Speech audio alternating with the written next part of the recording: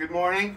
Uh, it's uh, it's almost that time to say goodbye to some of my my new friends. The uh, the volunteers of the Harpswell Santa Fund will be here shortly uh, to pick up all these wonderful donations that everybody has dropped off.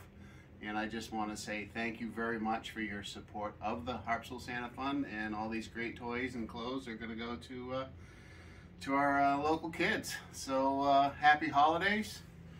We'll see you later. Bye.